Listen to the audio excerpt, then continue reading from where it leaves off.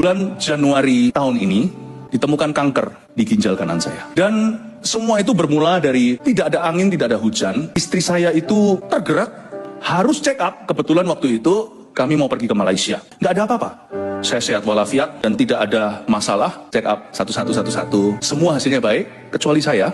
Dokter berkata, Anda ada kanker, ini sudah positif. Dan ketika saya diperhadapkan dengan bad news, saya rasa, haleluya Tuhan. Akhirnya aku bisa ketemu dengan satu orang yang saya sembah senantiasa, Yesus Tuhan. Tapi setelah itu, saya baru sadar egois aku. Saya lihat wajahnya istri saya seperti biru. Saya pikir Tuhan, aku itu selalu ready ketemu Tuhan. Karena aku punya hidup kekal. Tapi aku tidak siap tinggalkan orang-orang ini Tuhan. Masih banyak yang harus kukerjakan dalam hidup mereka. Tapi akhirnya kami semua diberi Tuhan iman surgery morning pada waktu pagi hari, operasi dijadwalkan. Post surgery day one, hari ke-1 saya tidur terus, kena anestesi. Saya ngalami panic attack, tidak pernah dalam hidup saya, saya ngalami seperti itu. Serangan panik itu luar biasa pukul 4, saya tidak bisa goyang gimana karena kateter sakit. Saya diserang setan dan seperti ada yang menuduh saya, matilah kau, matilah kau. Sudah di sinilah akhir segala sesuatu. This is the end of good life. Semacam itulah kata-katanya. Nggak perlu saya ulangi lah ya. Semuanya lie, lie, and lie. Semua dusta, dusta, dusta. Oh, dia bapak dusta. Tapi itu so real. Selama 15 menit seperti saya gelut dengan monster. Tapi untungnya kalau kita itu punya Tuhan. Tidak ada pencobaan yang lebih dari kekuatan. Itu sungguhan. Kalau kita itu sedia payung sebelum hujan. Tapi kalau kita krisis dulu baru cari Kristus. Telat saudara. Tapi kalau kita sudah punya Tuhan. Mau di meja operasi kayak kemoterapi.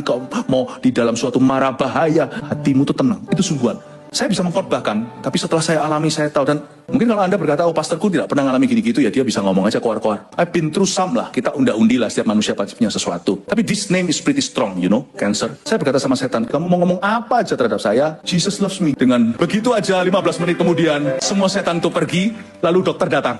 Waktu dokter datang, dia cek semuanya, dokter berkata, kamu baik sekali keadaannya. Recovery so fast. Ini baru malam pertama, baru satu hari saya di situ. Copot semua kateternya. Nggak perlu dia. Tapi kalau udah ada apa-apa, bahkan sekarang juga bisa keluar dari hospital, dia bilang. Mengalami hari ini berbagai macam masalah, termasuk penyakit, termasuk kanker sekalipun. Mendekatlah pada Tuhan. Jangan menjauh. Justru mendekatlah sama Tuhan. Karena hanya Tuhanlah sandaran. Percayalah saya. Sekarang saya bisa berkata begitu. Believe me, Jesus is the only comfort you could have. Di dalam hatimu terdalam hanya Yesus yang bisa menghibur dan menguatkan hati kita. Don't worry guys, I'm not a patient, saya sudah clear, tidak ada cancer bersih sama sekali. Saya ingin sekali menguatkan Anda yang hari ini, kalau Anda mengalami depresi, kalau Anda mengalami sakit penyakit, masalah rumah tangga, dan masalah dalam pekerjaan, please don't worry ya, Jesus is real. Apa pun terjadi kalau ada hidup kekal di dalam dirimu, namamu tertulis dalam kitab kehidupan, tidak ada yang kita takutkan. Itu sungguhan. Amin.